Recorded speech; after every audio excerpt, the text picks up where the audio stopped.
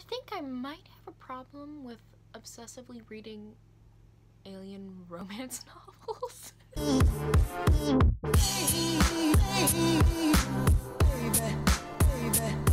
Hey y'all, what's up? My name is Averie and today I'm going to be doing my May wrap up. Sorry if my voice sounds a little weird, I have a mint in my mouth. Sorry if this video is very late. Um, June is almost over and I have yet to film my May wrap up. I've just been really busy. I've had three readathons this month, so it's been a little hard to try and find time to film this wrap up. So also sorry if you hear noise in the background. There's construction next door, so can't do anything about that. I ended up reading 15 books in the month of May. Five were ebooks, five were audiobooks, and five were physical reads. So yay me. I like I made a goal for myself to read more physically because I believe in April is that the month before May? April? I only read one physical book and that was like my least favorite read of the um whole month. That is different for this month. I read a lot of five star books physically. So, but anyways, I'll just jump right on into this video. So as always, I'm going to be going in order of my least favorite to my favorite. And my least favorite book was Piper by Jay Asher and Jessica Freeburg with illustrations by Jeff Stokely. I do not have this book physically anymore, but at the time I did physically read it. This was a library book. This is a graphic novel. This is basically a book talking about the Pied Piper like a graphic novel and a girl falling in love with him basically. Um, I will say the art was beautiful. I really enjoyed the art, but I have many gripes. There were no transitions from scene to scenes. Like there was times where conversations would just cut off and go to another scene and there was no transition there were no chapter indicators i think if there were chapter indicators, the book would have been way better. And it was very, very, very insta-lovey, and there was no chemistry between the two love interests at all. Like, she basically falls in love with him before she even, like, sees him, which is ridiculous. She just hears, like, oh, the Pied Piper's in town, and then she, like, ends up falling in love with him. Like, honey. and I have more thoughts in my Goodreads review. I go in full like full detail of what I thought about this. So for time's sake, if you want to know about it, I will leave a link down below to that.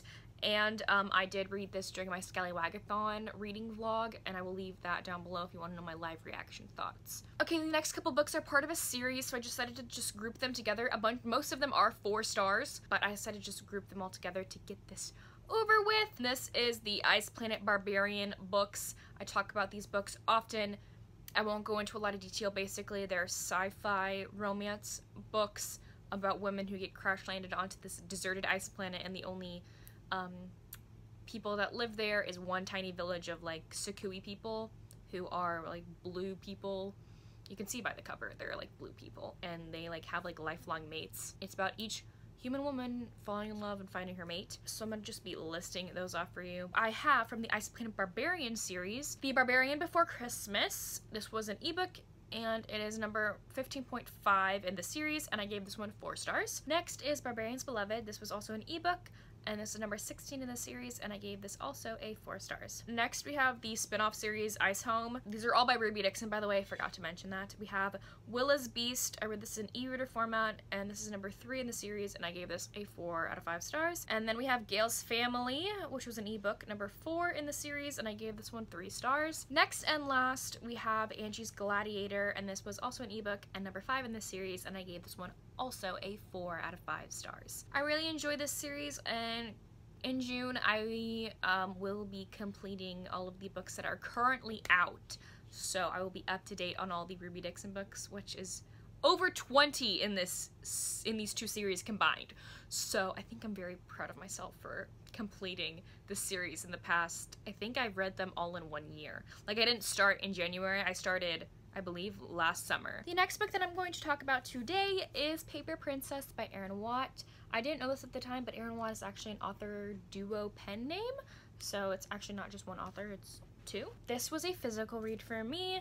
I read this during the Scallywagathon, and I will link it down below. I have some, I want to say, funny live reaction to me reading this book. People think that it's funny, my reaction to reading this book. This is the first book in the Royals series. I completed the second book in June. I am about to start on the third one. I ended up giving this book like a 3.5 or 3.75 out of 5 stars. I'm not really sure. I don't think I need a definite rating for this. It's just in between there. So basically this is about our girl named Ella Harper and she ends up living on her own, ends up working as a stripper to earn money because she's homeless. Her mother has died and she doesn't know who her father is. She just is trying to make ends meet and so this 17 year old girl i believe she's 17 is stripping for money turns out that her long lost father ends up dying and he's like this really big billionaire basically and he ends up giving like the um, guardianship to his best friend and um, his name is Callum Royal, I believe. He ends up bringing her into his home to basically save her from the way she's living, and turns out all of Callum's sons hate her, all five of them, and it's kind of a forbidden romance between Ella and one of the brothers, and it's a hate to love trope as well. This also has mature content in it, so if you're not into that, maybe not go for this book, but it's not that bad, I don't think. I think of this book as a soap opera.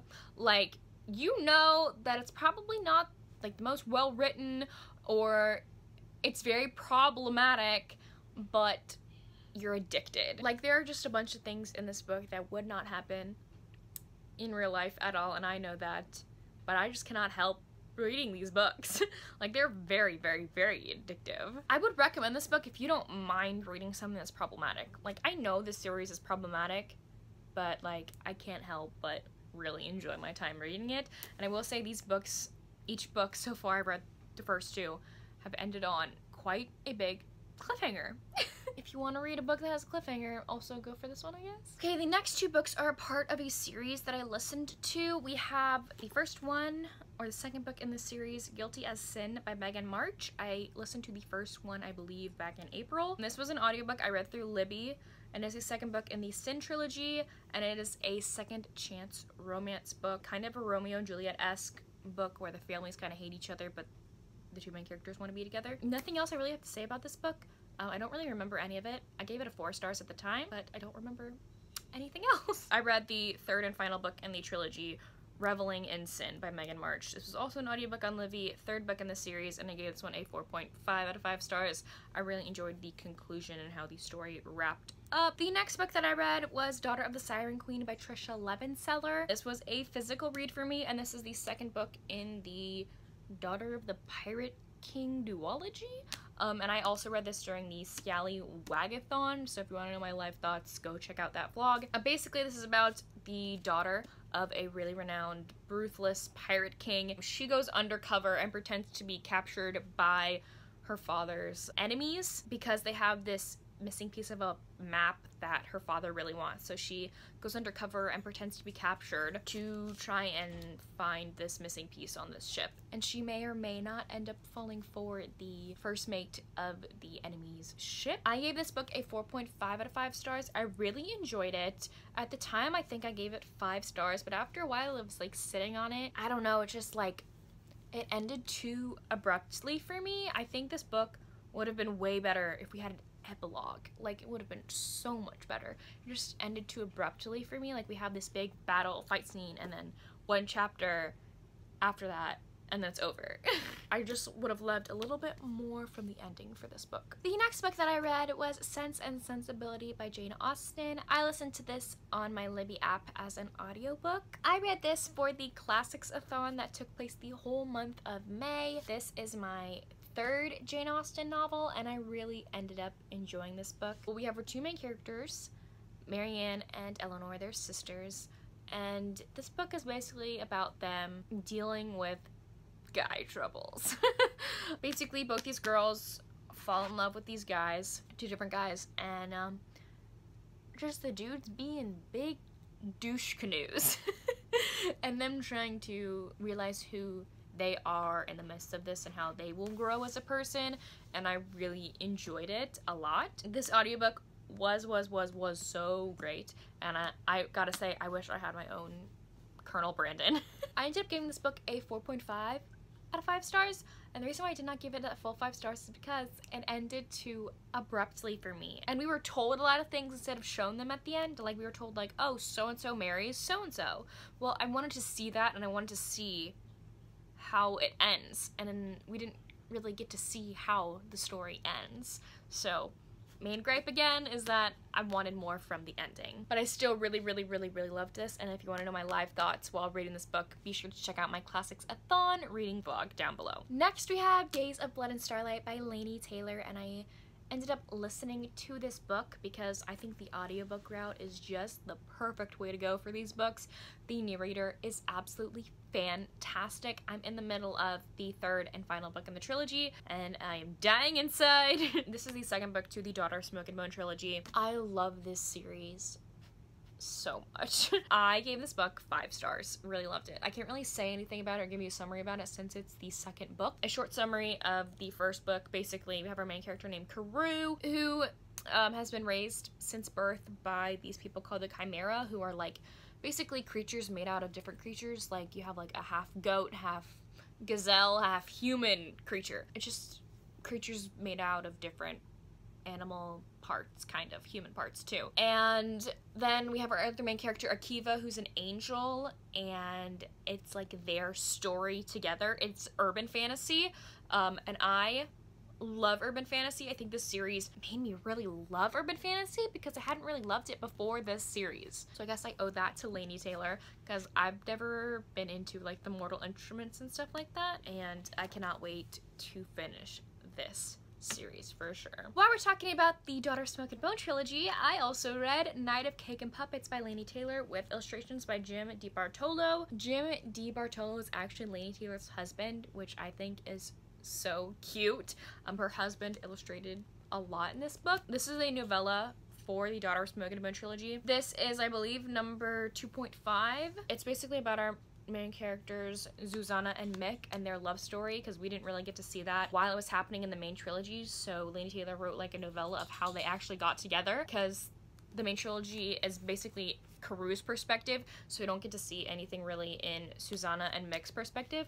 And so I really loved how we got a glimpse into their lives in this book and how they came together, and it was super duper duper cute. And I for sure gave this a 5 out of 5 stars. The second to last book on this list is Little Women by Louisa May Alcott. I listened to the second half of this book for the Classics-a-thon in May, and I love this book, one of my favorite classics of all time. Just gotta say, this is about four sisters in America during the Civil War era and like them discovering who they are and maybe finding a husband or a love interest along the way. And I just love the March sisters so much and just their whole family. And I cannot get enough of them. I cannot wait for the new adaptation coming out in December with Meryl Streep and Saoirse Ronan and Emma Watson coming out. I'm seeing that on Christmas Day for freaking sure. I love this. The audiobook was fantastic. I know this is not a book for everybody, but I loved it just because of the nostalgia it holds for me because I grew up with the movie with Winona Ryder. I just love everything about it and I love how you get a glimpse into married life in like classic novel because a lot of classic novels end with them getting married like just like the last page oh this person ends up marrying this person, yay! When in this one, like, you realize, oh, this person gets married halfway through the book, and you get to see what married life is like, what their children are like, and I loved that. I loved it. I also read this in my Classics-a-thon reading vlog, so if you want to know my live reaction thoughts, be sure to check out that vlog linked down below. And my favorite book that I read in May, I do not have physically because it was a library book, The Governess Game by Tessa Dare. I loved this book. This was a buddy read with Amy from Book Girl Abroad. I will leave her channel linked down below. I loved this book so much, mainly because I related to the main character a lot. She's a governess and I'm a nanny, so I just like I loved how I could relate to her in a lot of ways. I physically read this. I, yes, gave it a 5 out of 5 stars. This woman ends up accidentally becoming a governess for this man. He has two wards. They're not like his children, but he um, has to take care of these two girls. And she ends up accidentally getting this job. She may or may not end up falling for her boss. I just loved it. I loved it a lot. I read it through the library, so like I need a physical copy. Like I need it. And I already pre-ordered the third and next book in the series coming out later this year, and I cannot wait. If you're into historical romance books, I totally recommend Tessa Dare. I love her books so much. But yes, I totally recommend this book. Anyways, there you all have it. That was my May wrap up. I tried to make it a little bit shorter than my other wrap ups just because I don't remember all that much about any of these books and I feel like my videos that I've come out with recently are really long. So I tried to talk a little bit faster in this one. If you liked this video, be sure to give it a thumbs up and subscribe down below if you want to see more content from me. And also all my social media links are in the description. My Bookstagram, my Twitter, my Goodreads, all that jazz. So be sure to check those out if you want to follow me on all of those. Anyways, thank y'all so much for watching and I will see y'all soon with a new video. Bye!